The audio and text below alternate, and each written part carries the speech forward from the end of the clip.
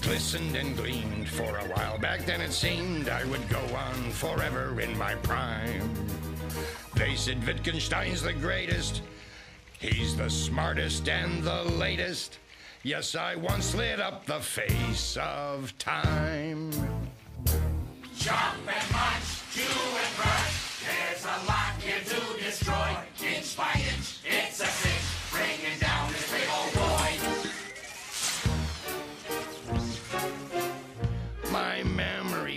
fades as my circuitry degrades. It gets harder and harder to recall.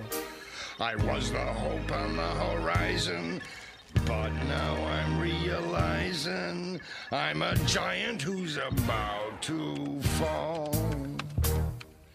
Yet from somewhere deep in my banks, my song of hope still clanks.